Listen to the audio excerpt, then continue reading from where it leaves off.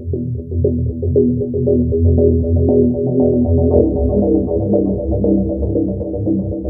you.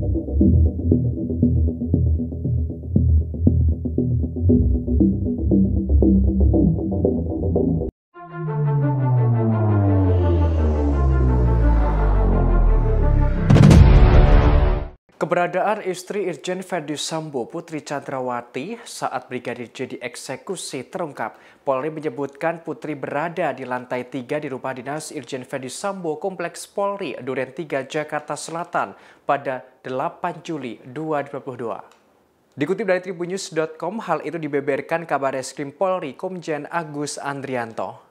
Agus berujar Putri berada di lantai tiga rumah dinas saat Barada E dan Bribka RR ditanya kesanggupan untuk menembak Brigadir J.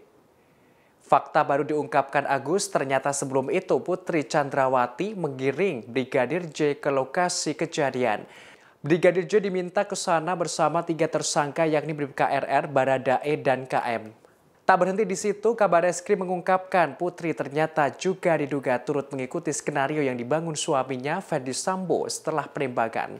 Bahkan Putri juga terlibat menjanjikan sejumlah uang kepada ketiga tersangka. Uang itu sebagai imbalan terkait rangkaian kematian Brigadir J.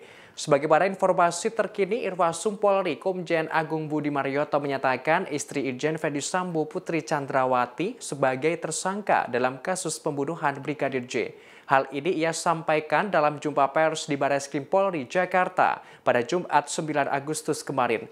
Penetapan ini setelah penyidik melaksanakan pemeriksaan mendalam termasuk alat bukti yang ada dan hasil dari gelar perkara. Sehingga sekarang ada lima tersangka kasus pembunuhan berencana terhadap Brigadir J, di antaranya Baradae, Irjen Ferdi Sambo, Bribka RR, KM, dan PC.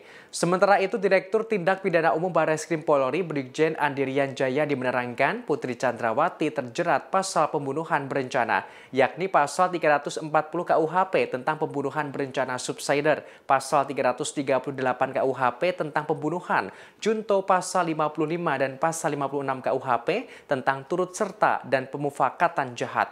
Sama dengan suaminya Irjen Ferdi Sambo, Putri terancam dihukum mati atau penjara seumur hidup atau penjara 20 tahun.